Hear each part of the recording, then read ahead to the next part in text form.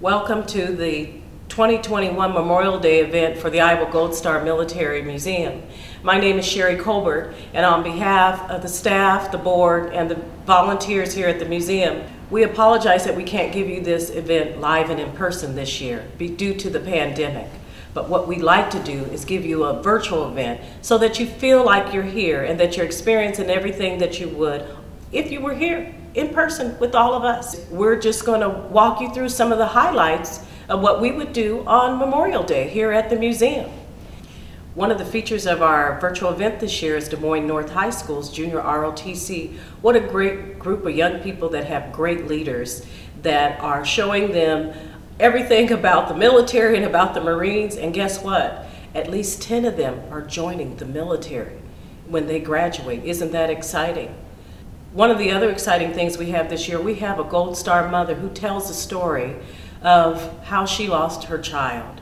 And just to give the meaning of Memorial Day and the sacrifice, not only that her child has made, but the family and their loss. We also have footage from a couple people you may recognize. One is Dr. Vincent Lewis, who is an educator here in the Des Moines area. He's a Vietnam veteran. In addition, we have retired Colonel Todd Jacobus, who is um, a Hoover High School graduate here in Des Moines, and he talks about loss of troops when he was a commander. We also have footage from our own Bob Holliday, who's the board chair here at the Iowa Gold Star Military Museum. Bob serves this board in honor of his father who was lost in World War II. And finally, no Memorial Day would be complete without the laying of the wreath by the Knights of Columbus. In addition, we play taps and how we always end our Memorial Day event here at the museum.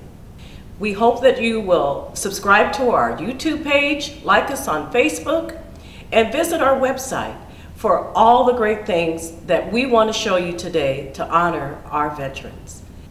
Looking ahead to 2022, we're going to give you some of the same great features that we have in the past. No, we don't have Van and Bonnie, which we thank them for their many years of service in broadcasting live.